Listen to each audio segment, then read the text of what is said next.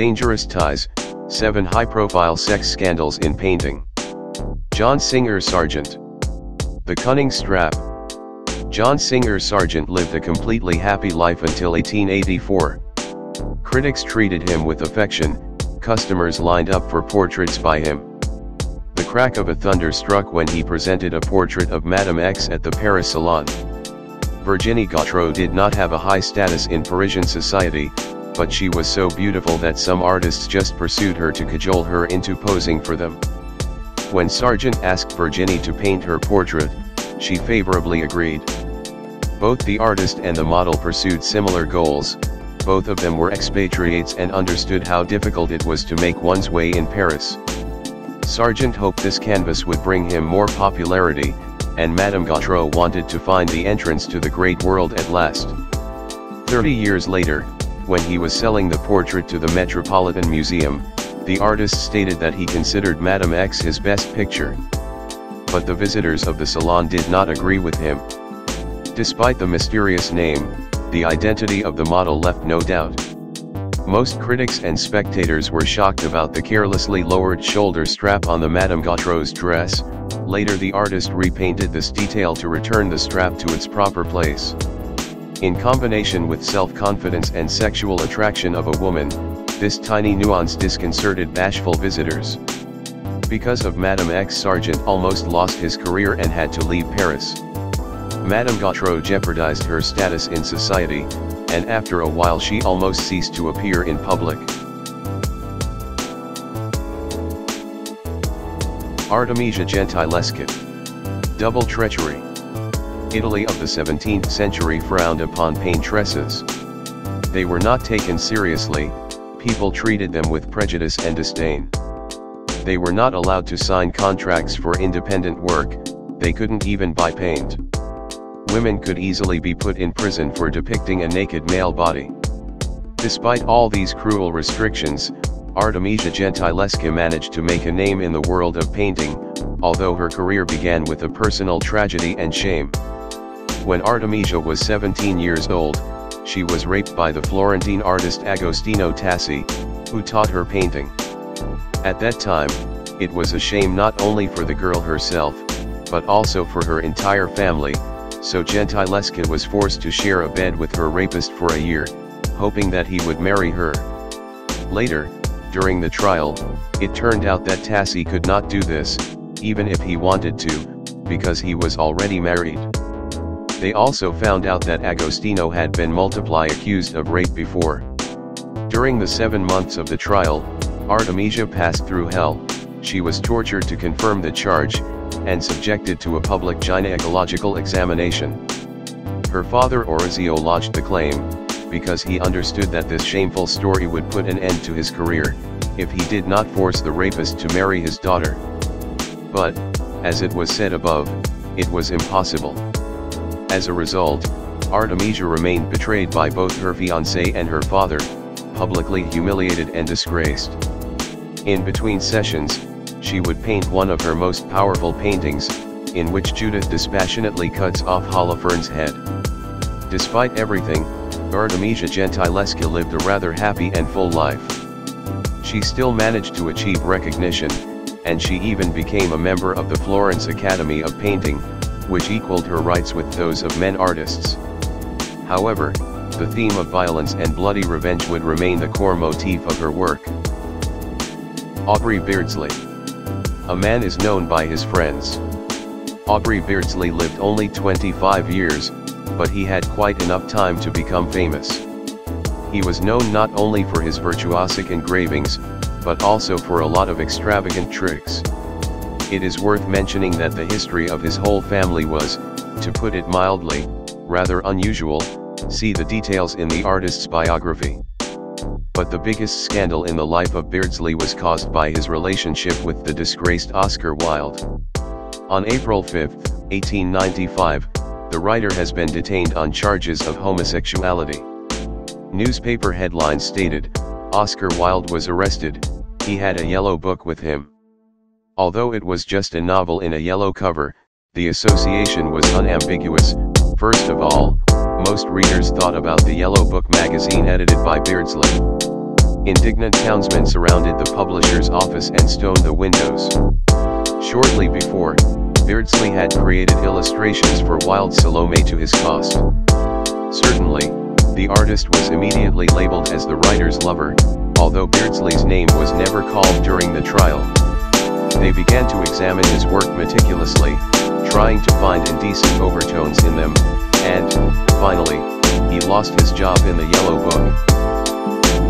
Oskar Kokoschka. The Puppet Master. Alma Mahler was Oskar's everything. It was a crazy, desperate, all-consuming passion that inspired and frightened at the same time. Kokoschka wrote hundreds of letters to Alma and painted her relentlessly. Soon after he painted his first real masterpiece, The Bride of the Wind, the famous Viennese beauty left him, frightened by his pressure and strength of his senses. Trying to drown the painful memories, Kokoschka went to fight in the First World War. The artist was seriously wounded, captured, and he miraculously survived. But he could not forget Alma. In 1919, Oskar commissioned the Munich artist Hermine Moos to make a copy of his ex-lover, a rag doll. The artist bought dresses and underwear for his new Alma, and suffered, pulling on stockings on the stuffed limbs. The doll became Kokoschka's constant companion at social events in Vienna, it sat next to him in an opera box, he fed it and talked with it. They said he even shared his bed with it. In his essay Fetish, the artist would later write that the doll disappointed him, and at the end it began to annoy him.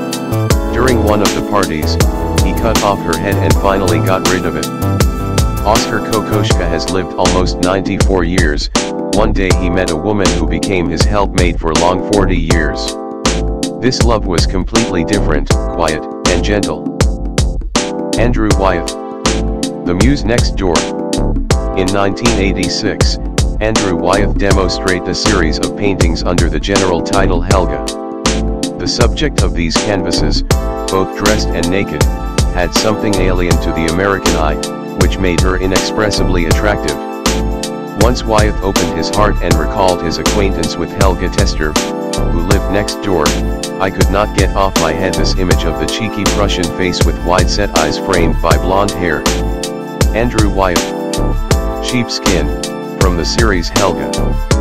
When the artist's wife Betsy first saw these pictures, she was deeply hurt. Their relationship was far from ideal. Betsy became the manager of Wyeth, sold his paintings, catalogued them. Eventually, the artist stated that he began to feel like a subject of purchase and sale, so he spent more and more time at work. Then Helga appeared. He painted her for 15 years, and Betsy had to carry the can against reporters. She briefly replied their questions about Helga, this is love. And Wyeth said to his friends, the artist must not marry, as the novel ends where the marriage begins. However, the absence of marriage bonds did not protect the relationship between Andrew and Helga from collapse. At some point, she no longer inspired him. After their parting, the woman fell into depression, Wyeth paid for her treatment and lived with her from time to time. Betsy, who claimed that art is more important than relationship, almost did not see her husband anymore. The artist found new muses. Wyeth's friend William Phelps once said, Andrew sets his heart upon people, he feels a warm feeling for them.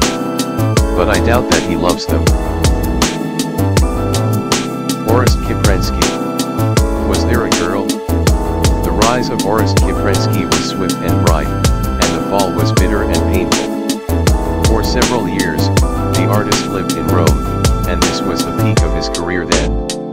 He was a magnificent portraitist, but he always dreamed of painting historical canvases.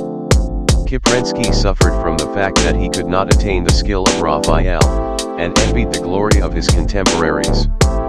After the decline in popularity, the artist began to drink, and then there were two events at once, which cast a shadow on his reputation both in Italy, and in his homeland. In 1823, when Kiprensky came back to Russia, he was met without usual enthusiasm. This St. Petersburg has got the rumors that the model he lived with was found murdered in his Roman workshop.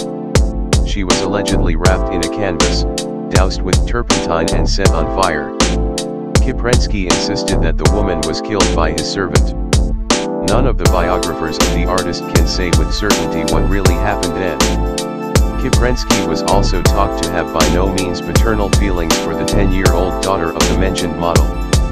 Here different art critics express different opinions. According to one version, little Mariuccia in fact was a daughter of the murdered woman. According to another one, the girl was brought to the artist's studio as a model by her mother, unfamiliar to Kiprensky before. He decided to make Mariuccia his apprentice and paid the woman for her official refusal from her daughter. Whatever it was, years later Kiprensky returned to Italy, found Mariuccia, and married her. But their marriage was short-lived, the artist died several months later. Leonardo da Vinci The Last Judgment The personal life of Leonardo da Vinci has always been a riddle wrapped up in an enigma. The artist not only encrypted all his notes, but also carefully kept close to the vest his love relationship. Certainly, he still could not avoid rumors. It was rumored that he had an affair with Cecilia Gallerani, who became the subject of the portrait named Lady with an Ermine. There were also lots of gossip and conjecture about the master's relationship with his disciple Salai, whom he drew naked. But the most serious scandal in the life of Da Vinci happened when he was 24 years old. In an anonymous denunciation, the artist, and three of his friends were accused of active sodomy. An unknown sender of the letter claimed that the young people raped the 17-year-old model Jacopo Saltarelli. All four of them were sent to prison, where they spent two months. Leonardo never talked about this episode, nor wrote about it in his diaries, but one can imagine how scared he was, for such a serious crime he could readily be fried on fire. The trial acquitted the young people, since the prosecution could not produce any evidence of rape. After the prison, Da Vinci kept a low profile for several years. Probably, despite the acquittal, the whole story still cast an imputation on his character and affected a number of his orders. Leonardo remained in the shade until he went to Milan to work at the court of Ludovico Sforza.